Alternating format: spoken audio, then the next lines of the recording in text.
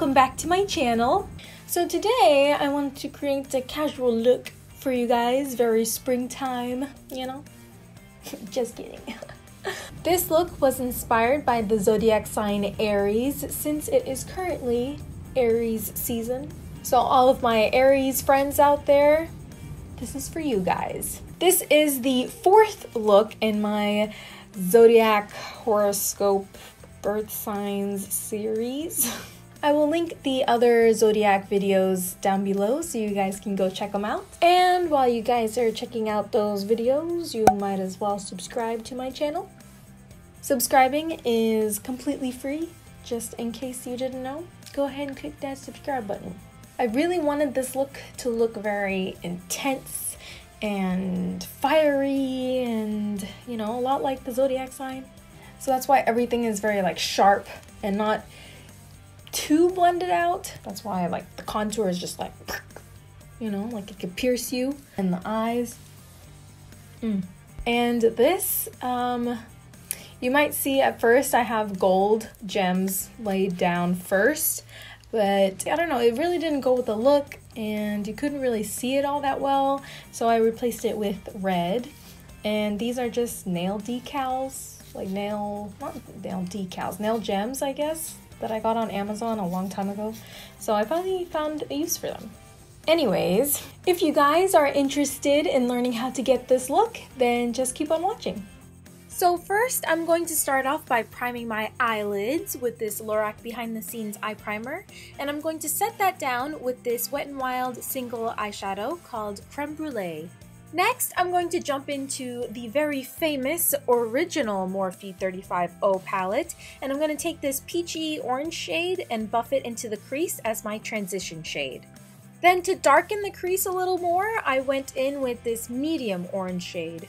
Now, using a more precise brush, I applied this bright orange shade in the crease and I concentrated most of it in the outer corner. Then to darken the outer corner and define the crease a little bit more, I applied this brown shade. Next, I applied this metallic burnt, burnt orange shade all over the lids.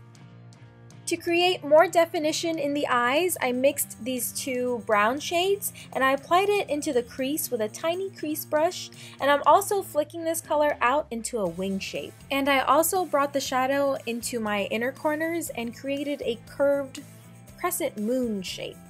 I really wanted a bright red color, but I had to work with what I got, so I mixed together red ochre and burnt orange from the Modern Renaissance palette and I applied that right above the crease. It still wasn't red enough, so I tried to use saffron from my Desert Dusk palette, but they were pretty much the same color. But if you do have a red color in your collection, like a bright red, then definitely use that.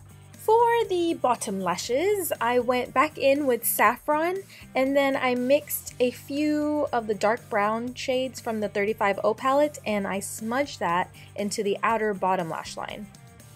And as you can see, I kind of also used that brown to connect the bottom lash line to the top lid.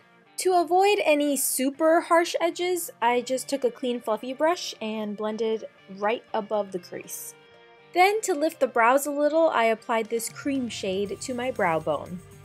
To fill in my brows, I just mixed these two brown shades with reddish undertones and I dragged the end of my brows to the same length as my eyeshadow wing.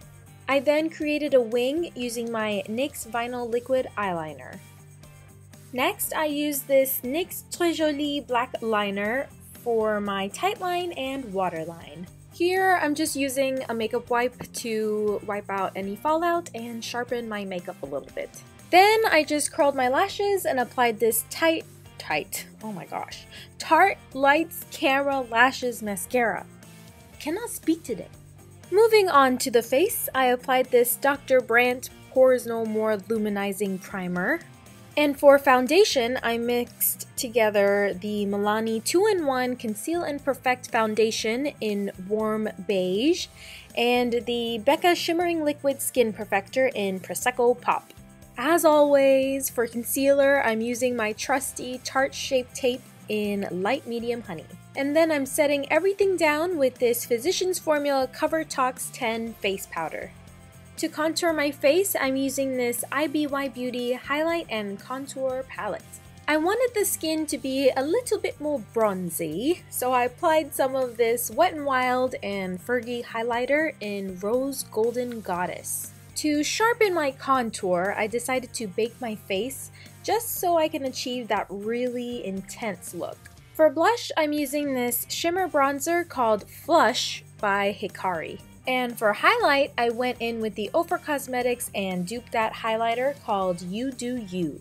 I also just quickly popped on some falsies for extra drama. These ones are from e.l.f. Moving on to the lips, I started off with this Essence lip liner called Red Blush.